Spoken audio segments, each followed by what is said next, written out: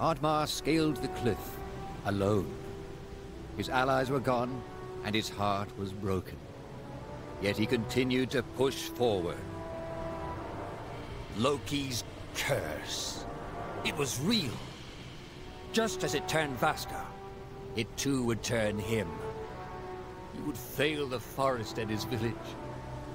Perhaps, he thought, the world was better off with no Vikings in it. But he would not have to fight alone. For in front of him, he saw a familiar pair of tusks which he didn't expect this far up a mountain. Perhaps all was not lost.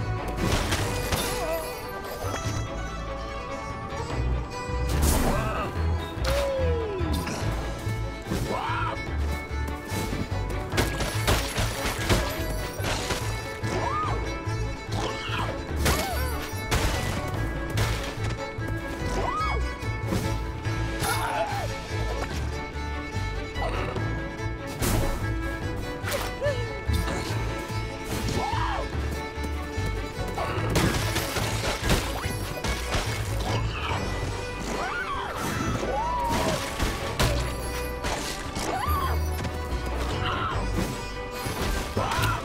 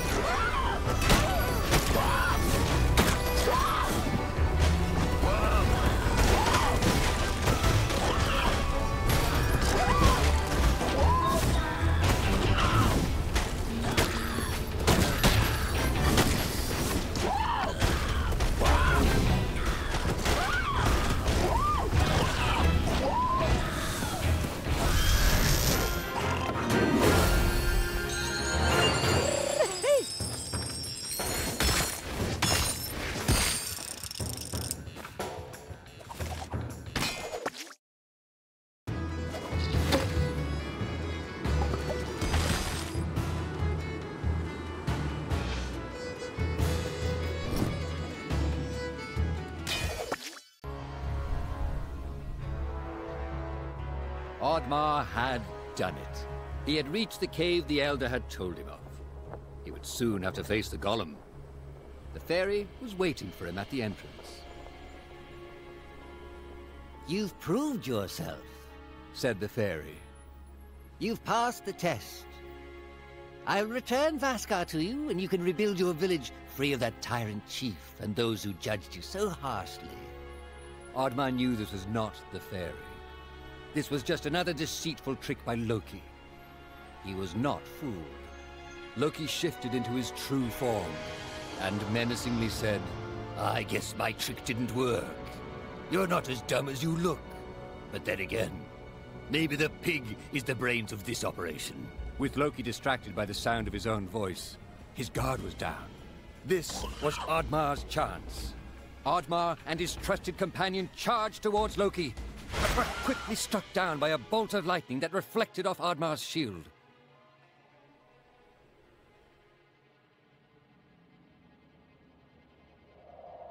With the influence of his power, Loki was confident that Oddmar would stand no chance against the Golem.